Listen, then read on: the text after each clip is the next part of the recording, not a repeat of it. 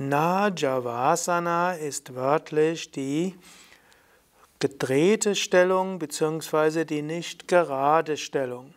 Najavasana ist die Bezeichnung für eine ganze Gruppe von Asanas und zwar sowohl die Drehungen wie auch die seitlichen Beugen. Annika zeigt gerade ein paar davon.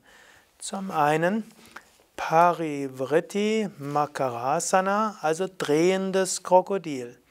In der Rückenlage beuge beide Knie und gib beide Knie nach links und gib dabei die linke Hand auf das rechte Knie und schaue nach rechts. So gibt es Subtana Javasana Stellungen, also liegende Drehungen. Gibt natürlich eine ganze Reihe davon.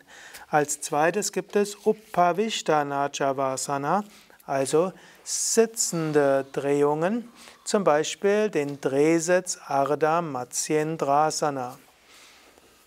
Also vom Fersensitz gehst du zur Seite. Annika macht die volle Stellung vor.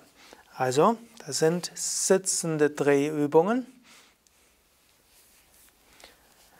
Als nächstes gibt es stehende Drehübungen, zum Beispiel das drehende Dreieck, also Beine auseinander und dann drehe dich zur Seite und komme dann zum Drehdreieck. Das ist jetzt das normale Dreieck und dann zum Drehdreieck. Das sind also Najavasana-Positionen. Aber Najavasana ist nicht nur die Bezeichnung für Drehübungen, sondern auch für seitliches Beugen. Und so ist durchaus auch das normale Dreieck durchaus Najavasana Übung.